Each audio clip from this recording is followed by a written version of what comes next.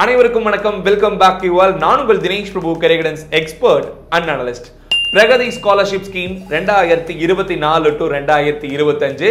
இந்தியாவில் engineering and diploma படிக்கிற female கேண்டிடேட்ஸ்க்கு மட்டும் இந்த ஸ்காலர்ஷிப்பை சென்ட்ரல் கவர்மெண்ட் வருஷம் வருஷம் கொடுத்துட்டு வராங்க. இயர்லி ஐம்பதனாயிரம் ரூபாய் ஸ்காலர்ஷிப் அமௌண்ட் உங்களுக்கு நெட்டாக உங்க அக்கௌண்ட்டுக்கு வரணும்னு நினைக்கிறீங்கன்னா இந்த ஸ்காலர்ஷிப்க்கு எல்லாருமே அப்ளை பண்ணுங்க. இதுக்கு எப்படி அப்ளை பண்ணும் இதுக்கு உண்டான எலிஜிபிலிட்டி கிரிட்டீரியா என்னென்ன? இதுக்கு கம்ப்ளீட் ப்ராசஸ் என்னென்ன? எப்போ நமக்கு இந்த ஸ்காலர்ஷிப் அமௌண்ட் கவர்மெண்ட் சைட்லேருந்து நமக்கு தருவாங்க? எப்படி தருவாங்க? டீட்டெயில்டாக டாப் டு பாட்டம் இந்த வீடியோ நம்ம எக்ஸ்பிளைன் பண்ண போறோம். நம்ம சேனலுக்கு இப்பதான் ஃபர்ஸ்ட் டைம் வந்திருக்க ஸ்டூடெண்ட்ஸ் அண்ட் பேரண்ட்ஸ் யாராக இருந்தாலும் மறக்காம நம்ம சேனலை சப்ஸ்கிரைப் பண்ணிக்கோங்க. Career guidance college admission scholarship video career orient video இது எல்லாமே நம்ம டாப் டு பாட்டம் ஸ்டூடெண்ட்ஸ்க்காக கொடுத்துட்டு இருக்கோம் சப்ஸ்கிரைப் பண்ணாத ஸ்டூடெண்ட்ஸ் அண்ட் பேரண்ட்ஸ் சப்ஸ்கிரைப் பண்ணி வச்சுக்கோங்க. அதே சமயம் இந்த வீடியோவை ஃபீமேல் ஃப்ரெண்ட்ஸ் உங்களுக்கு யாராவது இருந்தாங்கன்னா மறக்காம அவங்களுக்கு ஷேர் பண்ணி விடுங்க. அவங்களும் தெரிஞ்சுக்கட்டும். இந்த ஸ்காலர்ஷிப்கான லாஸ்ட் டேட் அப்படிங்கிறது அக்டோபர் முப்பத்தி ஒன்று அதாவது இன்னும் ஒரு முப்பது நாளுக்குள்ள இந்த ஸ்காலர்ஷிப்க்கு நீங்க அப்ளை பண்ணியிருக்கணும். அப்படி இல்லைன்னா ரெண்டாவது மறுபடியும் உங்களால் அப்ளை பண்ண முடியாது. ஸோ ஃபர்ஸ்ட் இயர் படிக்கிற டிப்ளமோ ஸ்டூடெண்ட்ஸும் இதுக்கு அப்ளை பண்ணலாம். ஃபஸ்ட் இயர் படிக்கிற இன்ஜினியரிங் ஸ்டூடெண்ட்ஸும் அப்ளை பண்ணலாம். Lateral entry second year engineering ஸ்டூடெண்ட்ஸும் அப்ளை பண்ணலாம். லேட்ரல் என்ட்ரினா டிப்ளமோ மூணு வருஷம் படிச்சு முடிச்சுட்டு டைரக்டா செகண்ட் இயர் சேர்ந்திருப்பீங்க பாத்தீங்களா? இன்ஜினியரிங்ல அந்த மாணவிகளும் இந்த ஸ்காலர்ஷிப்க்கு அப்ளை பண்ணலாம். வீடியோக்குள்ள போலாம். டீட்டெயிலா எல்லாத்தையும் பத்தி தெரிஞ்சுக்கலாம். வாங்க.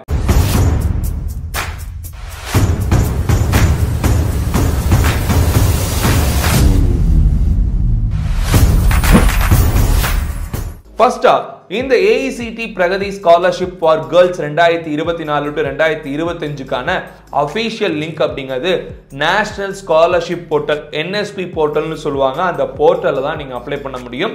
இதுக்கு ப்ரைவேட் தேர்ட் பார்ட்டி ஆப்ஸ் எதுவுமே தேவையில்லை. அந்த லிங்க் வந்து நான் டிஸ்கிரிப்ஷன்லேயும் ஃபர்ஸ்ட் கமெண்ட்லேயும் மென்ஷன் பண்ணியிருக்கேன். ஸோ ஸ்டூடெண்ட்ஸ் அதில் போய் நீங்கள் ஓடிஆர் ரெஜிஸ்ட்ரேஷன் பண்ணணும். ஒன் டைம் ரெஜிஸ்ட்ரேஷன் எந்த ஒரு மாணவன் மாணவியா இருந்தாலும் இதில் நீங்க ரெஜிஸ்ட்ரேஷன் பண்ணி வச்சுக்கிட்டீங்கன்னா என்னென்ன ஸ்காலர்ஷிப் வந்து சென்ட்ரல் கவர்மெண்ட்ல இருந்து அவைலபிளா இருக்கோ அது எல்லாத்துக்கும் நீங்க அப்ளை பண்ண முடியும். ஸோ இதுக்கு ஓடிஆர் ரெஜிஸ்ட்ரேஷன் அப்படிங்கிறது நீங்க இன்ஜினியரிங் படிச்சுட்டு இருக்கீங்கன்னா உங்களுக்கு இந்த நாலேஜ்ங்கிறது உங்களுக்கு இருக்கும். பேசிக்கா உங்களுக்கு பண்ற ரெஜிஸ்ட்ரேஷன் தான். அந்த ரெஜிஸ்ட்ரேஷன் லிங்க் டிஸ்கிரிப்ஷன்ல கொடுத்துருக்கேன். அதை கிளிக் பண்ணி நீங்க ரெஜிஸ்ட்ரேஷன் பண்ணதுக்கு அப்புறமா பிரகதி ஸ்காலர்ஷிப்னு சொல்லிட்டு உங்களுக்கு அதுல ஸ்காலர்ஷிப்ல போய் பாத்தீங்கன்னா இருக்கும். அதுல தான் நீங்க ஃபில் பண்ணணும் அப்ளிகேஷனை கம்ப்ளீட்டா ஸோ இதில் எலிஜிபிலிட்டி கிரிட்டீரியா என்ன அப்படிங்கிறத ஃபர்ஸ்ட் நான் சொல்லிடுறேன். பிகாஸ் ஃபீமேல் கேண்டிடேட்ஸ்னால் எல்லா ஃபீமேல் ஸ்டூடெண்ட்ஸும் இதுக்கு அப்ளை பண்ண முடியாது. அதுலேயுமே ஒரு சில எலிஜிபிலிட்டி அப்படிங்கிறது இருக்கும். ஏன்னா இந்தியா ஃபுல்லாக லட்சக்கணக்கான ஃபீமேல் ஸ்டூடெண்ட்ஸ் வந்து இன்ஜினியரிங் படிக்கிறாங்க. அதில் வெறும் ஐயாயிரம் மாணவிகளுக்கு மட்டும்தான் அந்த ஸ்காலர்ஷிப் தராங்கன்னு சொன்னீங்களா ஸோ இதில் வந்து ஃபீமேல் இந்தியன் நேஷனலாக இருக்கணும் அப்படிங்க சொல்கிறாங்க இந்தியன் சிட்டிசனாக இருக்கிற ஃபீமேல் ஸ்டூடெண்ட்டாக நீங்கள் இருக்கணும். இது மட்டும் இல்லாமல் ஃபஸ்ட் இயர் இன்ஜினியரிங் ஆர் டிப்ளமோவில் நீங்கள் என்ரோல் பண்ணியிருக்கணும் முன்னாடியே சொல்லியிருந்தேன்.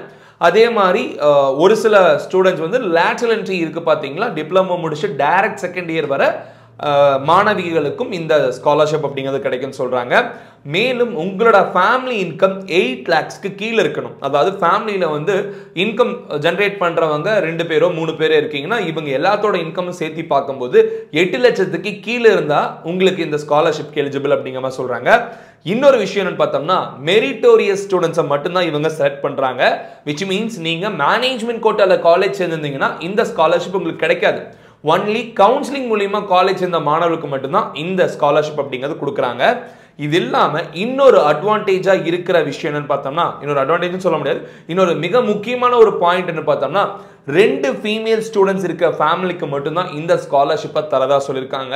பிகாஸ் வீட்டில் ஒரே ஒரு பொண்ணு இருந்ததுன்னா கிடைக்கிறது கொஞ்சம் வாய்ப்புகள் கம்மி. முக்கியத்துவம் அப்படிங்கிறது ரெண்டு ஃபீமேல் ஸ்டூடெண்ட்ஸ்க்கு கொடுக்குறாங்க. நிறைய ஊரில் வந்து நிறைய ஸ்டூடெண்ட்ஸ் வந்து ஒரு ஃபீமேல் ஸ்டூடெண்ட்டாக இருந்தாலும் ஒரு சிலர் வாங்கியிருக்காங்க. மேற்கொண்டு நிறைய பேர் கேட்பீங்க ஒரு பொண்ணு ஒரு பையன் இருந்தால் எந்த பொண்ணுக்கு ஸ்காலர்ஷிப் கிடைக்குமான்னு கேட்பீங்க. நைன்டி நைன் பர்சன்டேஜ் ரெண்டு பொண்ணுங்க இருக்கிற வீட்டில் மட்டும்தான் ஏதாவது ஒரு பொண்ணுக்கு இந்த ஸ்காலர்ஷிப் தராங்க. ஸோ இதில் இன்னொன்று பார்த்தோம்னா ஒரு பொண்ணு மேனேஜ்மெண்ட் கோட்டாலையும் இன்னொரு பொண்ணு நீங்கள் வந்து கவர்மெண்ட் கோட்டாலையும் என்ரோல் ஆயிருந்தாங்கன்னா கவர்மெண்ட் கோட்டாவில் யாருக்கு சீட் கிடைச்சிருக்கோ அவங்க வந்து இந்த ஸ்காலர்ஷிப்பை அப்ளை பண்ணலாம். அக்கா இருந்தாலும் அப்ளை பண்ணலாம் தங்கச்சி இருந்தாலும் அப்ளை பண்ணலாம் வீட்டில் ரெண்டு பொண்ணுங்க இருக்கணும் அவ்வளோதான் இதில் மிக முக்கியமாக சொல்கிறது ஒரு பையன் ஒரு பொண்ணு இருந்தாலும் இது கிடைக்கிறதுக்கு வாய்ப்புகள் கம்மி. சார் எங்கள் வீட்டில் மூணு பொண்ணுங்க நாலு பொண்ணுங்க அது எல்லாமே உங்களுக்கு அப்ளை பண்ணலாம் no issues minimum two female candidates in a family அது வந்து ஒரு ஒருத்தவங்க படிச்சிருக்கலாம் கல்யாணம் ஆகிருக்கலாம் இன்னும் கல்யாணம் ஆகாமல் இருக்கலாம் குழந்தையா கூட இருக்கலாம் no issues at all so இதில் பெனிஃபிட்ஸ் அப்படிங்கிறது என்னென்னு பார்த்தோம்னா வருஷம் ஐம்பதனாயிரம் ரூபாயை உங்களுக்கு டைரக்ட் அக்கௌண்ட் ட்ரான்ஸ்ஃபராக ஸ்டூடெண்ட்டோட அக்கௌண்ட்டுக்கே கொடுத்துட்றாங்க ஃபர்ஸ்ட் இயர் நீங்கள் அப்ளை பண்ணி வாங்கிட்டீங்கன்னா அரியர் எதுவும் இல்லாமல் அதாவது எந்த ஒரு சப்ஜெக்ட்லையும் ஃபெயில் ஆகாமல் நீங்கள் ஒவ்வொரு வருஷமும் கரெக்டாக படிச்சுட்டு வந்தீங்கன்னா மட்டும் அடுத்தடுத்த வருஷத்தில் நீங்கள் இதை ரினியூ பண்ணிக்கலாம். அந்த ரினியூவல் அப்ளிகேஷனும் வெப்சைட்லேயே கொடுப்பாங்க.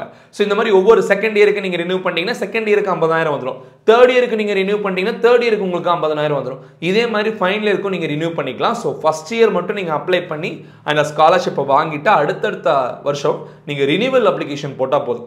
நிறைய பேர் செகண்ட் இயர் தேர்ட் இயர் படிக்கிற ஸ்டூடெண்ட்ஸ் ஃபைனல் இயர் படிக்கிற ஸ்டூடெண்ட்ஸ் நாங்கள் அப்ளை பண்ணலாம்னு கேட்பீங்க நீங்கள் அப்ளை பண்ண முடியாது எலிஜிபிலிட்டி கிடையாது. ஒன்லி ஃபார் ஃப்ரெஷ் அப்ளிகேஷன்ஸ் தான் இது கொடுப்பாங்க. அது ஃபர்ஸ்ட் இயர் அப்ளிகேஷன்ஸ் தான் இப்போ நீங்கள் போட முடியும். செகண்ட் இயர் படிச்சுட்டு இருக்கவங்க அப்ளை பண்ணணும்னு நினச்சிங்கன்னா நீங்கள் லேட்டரல் என்ட்ரி டிப்ளமோ மூலிமா டைரக்ட் கவுன்சிலிங்கில் நீங்கள் காலேஜ் சேர்ந்துருக்கணும். இதுதான் மிக முக்கியமான எலிஜிபிலிட்டி கிரிட்டீரியா பார்க்கப்படுது. அண்ட் தென் இன்னொரு விஷயம் பார்த்தோம்னா இதில் ஹாஸ்டல் ஃபீஸோ இல்லைனா வந்து மெடிக்கல் சார்ஜஸ் இந்த மாதிரியான விஷயங்கள் எதுவுமே தரமாட்டாங்க.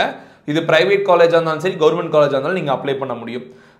மிக முக்கியமான எலிஜிபிலிட்டி கிரிட்டீரியா என்னன்னு சொல்லிட்டேன். இப்போ இதுக்கு தேவைப்படுற டாக்குமெண்ட்ஸ் என்னென்னா அந்த டாக்குமெண்ட்ஸில் ஒரு சிலது வந்து அட்டஸ்டட் காப்பீஸாக கேட்குறாங்க ஆல்ரெடி வந்து ப்ரொஃபஷனல் அலாட்மெண்ட் லெட்டர் வரும்போது உங்களுக்கு ஒரிஜினல்ஸை கொண்டு வந்து காலேஜில் சப்மிட் பண்ண சொல்லியிருப்பாங்க இல்லையா? அப்போ நிறைய பேர் வந்து அதை ஸ்கேன் பண்ணி வச்சுருப்பீங்க இல்லைனா ஃபோட்டோஸ் எடுத்து வச்சுருப்பீங்க. ஒரு சிலர் என்ன பண்ணியிருப்பீங்கன்னா அதை பிரிண்ட் அவுட் எடுத்து அட்டஸ்டட் காப்பீஸாக க்ரீன் இங்கில் சிக்னேச்சர் பண்ணி வச்சுருப்பீங்க. அந்த மாதிரி வச்சுருந்தீங்கன்னா இந்த அப்ளிகேஷன் ஃபில் பண்ணுறதுக்கு உங்களுக்கு ரொம்ப உறுதுணையாக இருக்கும். அதில் copy of mark sheets from class ten and class twelve tenth twelfth mark sheet எல்லாரும் கேட்குற மாதிரி கேட்குறாங்க ஸ்டூடெண்ட்டோட ஆதார் கார்டு கேட்குறாங்க இன்கம் சர்டிஃபிகேட் கேட்குறாங்க admission letter for a degree அதாவது அட்மிஷன் லெட்டர்னா டோட்லேருந்து உங்களுக்கு கொடுக்கப்பட்ட லெட்டர் கவுன்சிலிங்கில் போனால் ப்ரொவிஷனல் அலாட்மெண்ட் லெட்டர் உங்களுக்கு கொடுத்துருப்பாங்க. அந்த லெட்டரில் பிரின்சிபல் சைன் பண்ணியிருப்பாங்க அந்த பிரின்சிபல் சைன் பண்ண லெட்டர் கேட்பாங்க. அப்படி இல்லைன்னா டவுன்லோட் பண்ணி வச்சிருப்பீங்களே அதை கொண்டு பிரின்சிபல்கிட்ட சைன் வாங்கி வச்சுக்கோங்க. Receipt of tuition fee payment tuition fee எவ்வளோ நீங்கள் கட்டியிருந்தாலும் அதுக்கான ரிசிப்ட் ஐம்பதனாயிரம் இருந்தாலும் சரி ஒரு லட்சமாக இருந்தாலும் சரி ஒன்றரை லட்சமாக இருந்தாலும் அந்த ரெசிப்ட் நீங்கள் கட்டாயமாக டாக்குமெண்ட் அப்லோட் பண்ணும் copy of bank account passbook seeded with Aadhaar card அதாவது ஆதார் கார்டு லிங்க் பண்ண பேன் கார்டு லிங்க் பண்ண ஒரு பேங்க் பாஸ்புக்கை நீங்கள் கொடுக்கணும். அது ஸ்டூடெண்ட்டோட தான் இருக்கணும். ஸ்டூடெண்ட்ஸ் எல்லாரும் நைன்டி நைன் பர்சன்டேஜ் வந்து ஆதார் கார்டும் பேன் கார்டும் உங்கள் பேங்க் அக்கௌண்ட்டை லிங்க் பண்ணியிருப்பீங்க no issues for that also caste certificate which means community certificates நம்ம என்ன கம்யூனிட்டியில் வரும்? BC MBC SC SCA and sometimes வந்து ஓபிசி அதாவது நான் கிரீமிலரி லேயர்னு சொல்லிட்டு வச்சுருப்பீங்களே இல்லையா? அதையும் நீங்கள் இந்த சர்டிஃபிகேட்டுக்கு கேஸ்ட் சர்டிஃபிகேட்டாக கொடுக்கலாம். இதுக்கப்புறம் லாஸ்ட்டாக a duly sign declaration by parents confirming the accuracy of the information provided in the application form அதாவது நீங்கள் ஃபில் பண்ணுற அப்ளிகேஷனில் எல்லா டீட்டெயிலும் நீங்கள் உண்மையாக தான் கொடுத்துருக்கீங்க. எதையுமே ஃபேக் பண்ணி ஸ்காலர்ஷிப் வாங்குறதுக்காக ஏமாற்றி கொடுக்கல அப்படிங்கிறத நீங்கள் பேரண்ட்ஸ் சிக்னேச்சர் பண்ணி ஒரு லெட்டர் மாதிரி எழுது. எப்படின்னு பார்த்தோம்னா ஃப்ரம் அண்ட் டூலாம் போட்டு இந்த மாதிரி நாங்கள் கொடுத்துருக்க தகவல் எல்லாம் உண்மை தகவல் தான் சொல்லிட்டு பேரண்ட்ஸ் சிக்னேச்சர் பண்ணி ஒன்று அப்லோட் பண்ண சொல்கிறாங்க அதுக்கான ஃபார்மேட்லாம் உங்களுக்கு வெப்சைட்டில் கொடுத்துருப்பாங்க. இதுக்கு அப்ளை பண்ணுற லிங்க் நான் ஆல்ரெடி முன்னாடியே சொல்லியிருந்தேன். என்எஸ்பி போர்ட்டல் நேஷனல் ஸ்காலர்ஷிப் போர்ட்டலில் நீங்கள் ஃபஸ்ட்டு போய் ஒன் டைம் ரெஜிஸ்ட்ரேஷனை பண்ணி ரெஜிஸ்ட்ரேஷன் பண்ணி உங்களுக்கு அக்கௌண்ட்டு பாஸ்வேர்டு இதெல்லாம் கொடுத்ததுக்கப்புறம் எகெயின் நீங்கள் நேஷனல் ஸ்காலர்ஷிப் போர்ட்டலில் போய் லாகின் பண்ணும் லாகின் பண்ணதுக்கப்புறமா அவங்க கேட்குற ஒவ்வொரு டீட்டெயில்ஸாக நீங்கள் ஃபில் பண்ணிகிட்டே வரணும். இதுக்கும் வந்து பார்த்தோம்னா டெமோ அப்ளிகேஷன் ஃபில்லிங் வீடியோ அடுத்ததாக நான் உங்களுக்கு டிஸ்கிரிப்ஷனில் கொடுத்துருக்கேன். நிறைய வீடியோஸ் யூடியூப்பில் இருக்குது நீங்கள் அதை கூட பார்த்து பண்ணலாம்.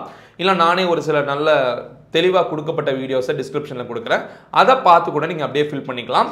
நைன்டி பர்சன்டேஜ் ஆஃப் ஸ்டூடெண்ட்ஸ் நீங்கள் மேக்ஸிமம் உங்களுக்கு ஃபில் பண்ண தெரியலனா இ சேவை மையத்தில் போய் நீங்கள் இதை ஃபில் பண்ணுங்கள் அதாவது கவர்மெண்ட் ஆத்தரைஸ்டு இ சேவை மையத்தில் போய் பண்ணிங்கன்னா அவங்க ஒரு அமௌண்ட் கேட்பாங்க அதை கொடுத்து நீங்கள் ஃபில் பண்ணிக்கலாம். இதுக்கு அடுத்த செலெக்ஷன் ப்ரொசீஜர்னு கேட்டிங்கன்னா ஷார்ட் லிஸ்ட் பண்ண ஸ்டூடெண்ட்ஸாக அடுத்ததாக அவங்க வந்து உங்களுக்கு ஒரு மெரிட்டோரியஸ் டெஸ்ட் மாதிரி வைப்பாங்க ஆப்டிடியூட் டெஸ்ட் மாதிரி இருக்கும். அந்த ஆப்டிடியூட் டெஸ்ட்டை கிளியர் பண்ணுற ஸ்டூடெண்ட்ஸை நோட் நோட் டவுன் பண்ணிக்கிட்டு அவங்களுக்கு அடுத்ததாக ஸ்காலர்ஷிப் மெரிட் லிஸ்ட்டுன்னு சொல்லி கொடுப்பாங்க. அந்த மெரிட் லிஸ்ட்டில் அவங்க நேம் வந்திருந்துன்னா உங்களுக்கு அந்த ஸ்காலர்ஷிப் அமௌண்ட் அப்படிங்கிறது கிடைக்கும். ஸோ டீட்டெயில்டாக இன்னும் இதை பற்றி நிறைய விஷயங்கள் வந்து அவங்களோட அஃபிஷியல் வெப்சைட்டில் நீங்கள் போய் பார்க்கலாம். அதுக்கான லிங்க் நான் டிஸ்கிரிப்ஷனில் கொடுத்துருக்கேன். போய் பாருங்கள் மேலும் நிறைய வீடியோஸ் வந்து ஸ்டூடெண்ட்ஸ் நம்மகிட்ட கேட்குறீங்க ஸ்காலர்ஷிப் சம்மந்தமாக இன்னும் நிறையா வரப்போகுது. எதையுமே மிஸ் பண்ணாமல் பாருங்கள் பிகாஸ் நம்ம சேனலை சப்ஸ்கிரைப் பண்ணாமல் நீங்கள் வீடியோஸ் பார்த்துட்டு இருக்கீங்கன்னா உங்களுக்கு இந்த வி இந்த ஸ்காலர்ஷிப் சம்மந்தப்பட்ட அப்டேட்ஸ் எல்லாம் கிடைக்காம போயிடும் ஸோ அதனால் நீங்கள் அப்ளை பண்ண முடியாது. இந்த வீடியோவை ஃபீமேல் ஸ்டூடெண்ட்ஸ் எல்லாத்துக்கும் ஷேர் பண்ணி விடுங்க. அக்டோபர் முப்பத்தி ஒன்றுக்குள்ளே பிரகதி ஸ்காலர்ஷிப் ஸ்கீமுக்கு எல்லாத்தையும் அப்ளை பண்ண சொல்லுங்கள் தொடர்ந்து எல்லா வீடியோஸ் பார்த்துட்டு வாங்க. நான் வேறொரு வீடியோவில் உங்களை சந்திச்சு இன்னும் டீட்டெயிலாக நிறைய ஸ்காலர்ஷிப் பற்றியும் பிளேஸ்மெண்ட் சம்மந்தப்பட்ட விஷயங்களும் ஸ்கில்ஸ் என்னென்ன நீங்கள் டெவலப் பண்ணிங்கன்னா ஃபர்ஸ்ட் இயர் ஸ்டூடெண்ட்ஸ்க்கு பிளேஸ்மெண்ட்டுக்கு சப்போர்ட்டாக இருக்கும் அப்படிங்கிறத தொடர்ந்து பார்க்க போகிறோம் பேச போகிறோம் ஸோ அடுத்த வீடியோவில் வேறொரு இன்ஃபர்மேஷன் பற்றி டிஸ்கஸ் பண்ணுற வரைக்கும் signing off yours Dinesh Prabhu. Thanks for வாட்சிங் have a good day and take care bye